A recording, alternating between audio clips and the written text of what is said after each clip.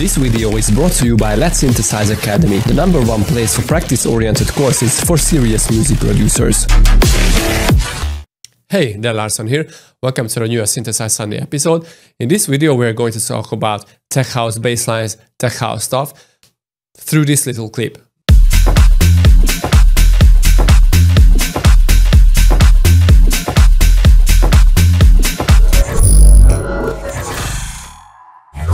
Okay, so here is the bassline that I use for this clip.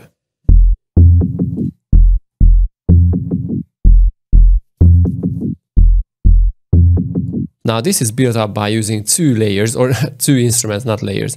The first one is the sub layer. This is how it sounds on itself. Very, very simple thing. Now, if you want to go really well with these tech house, techno-ish kind of bass lines or sublines, basically, you need to use something analog. So this is why I use the Monark here. This is a really, really great plugin. I love to use it for stuff like this. Now, it doesn't really matter what you use because all you need to know is to filter it out. So if you use uh, like square wave or sub, it doesn't really matter. Just filter it out and make it really subby but that analog feel will still be there and that is what you are looking for.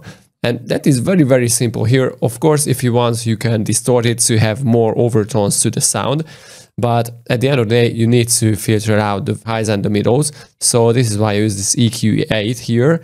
Basically I filter out everything above 1k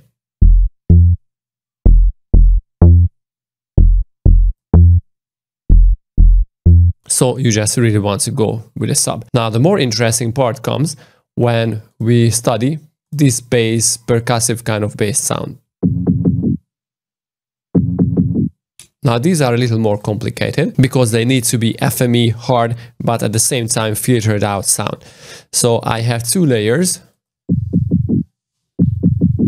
This is the main layer, but as you can see I chopped off the very lows because I'm not going to use them. Now the sound itself is very simple. You take a sine wave and you modulate it with another sine wave, but this time on half of the frequency and maybe detune it a little and then filter it because without filtering, this is the sound itself because with the envelope, we are making it a little blocky kind of thing. This is a simple sine wave. Okay, now we added a pitch envelope to it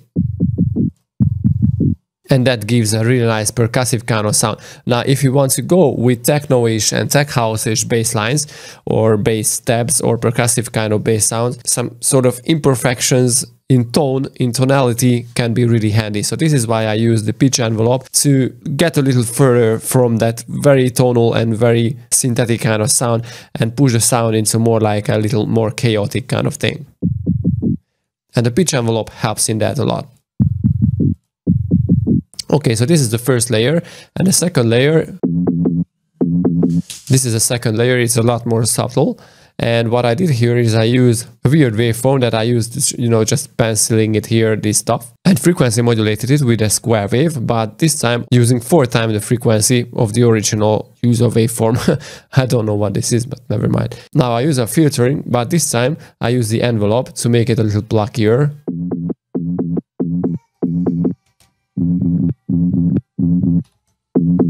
As you can hear, I let the filter open a little at the very beginning of the sound, giving a little transient. And like always, I use the pitch envelope too.